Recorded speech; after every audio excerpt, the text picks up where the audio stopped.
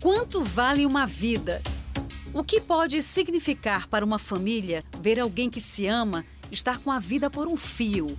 Um fio de sutura que poderia ter dado sobrevida a 31 crianças cardiopatas em 2019.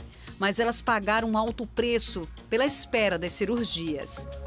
A saúde ela já estava na UTI antes de nós chegarmos nesse momento da pandemia.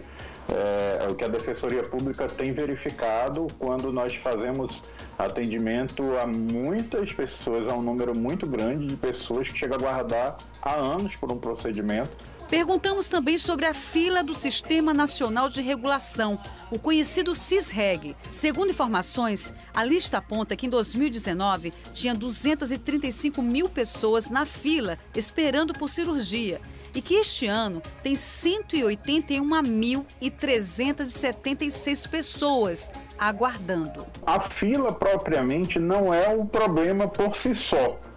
O problema é quando nós vemos uma fila que não anda e uma fila que não é transparente.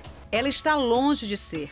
A Lei 5.078, de 7 de janeiro de 2020, diz que a Secretaria Estadual de Saúde, a SUSAN, deveria publicar em seu portal a lista de espera de pacientes de exames, consultas e cirurgias, separadas por especialidades médicas na rede pública do Estado, e que o acesso deveria ser para todos, mas a lista não é publicada.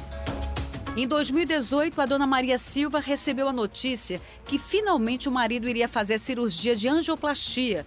Dois dias antes da data marcada, a médica suspendeu a medicação para o procedimento.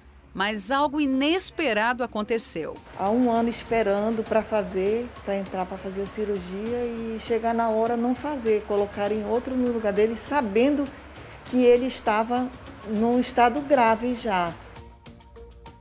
Com licença, seu Antônio, com licença. Perguntei sobre como ele viu a questão do cancelamento da cirurgia. Ah, a gente, que nem diz o outro pobre, não tem direito nenhum, né?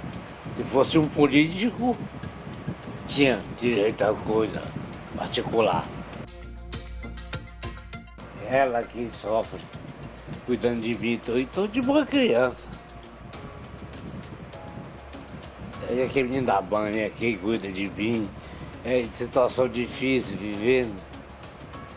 Um paciente que ele vai aguardar um procedimento que não acontece nunca ou quase nunca, ele vai passar anos a fio aguardando aquele procedimento que termina ocasionando a judicialização da saúde. A Defensoria Pública moveu uma ação conforme mostra esse documento, datado em 10 de julho deste ano, determinando que o governo do estado teria um prazo máximo de cinco dias para adquirir insumos, órtese, próteses, materiais especiais, equipamentos necessários para o pleno restabelecimento da capacidade de produção de cirurgias e procedimentos no Hospital Francisca Mendes. O governo não acatou e foi penalizado com bloqueio judicial de 2 milhões milhões 351 mil 549 reais e 12 centavos.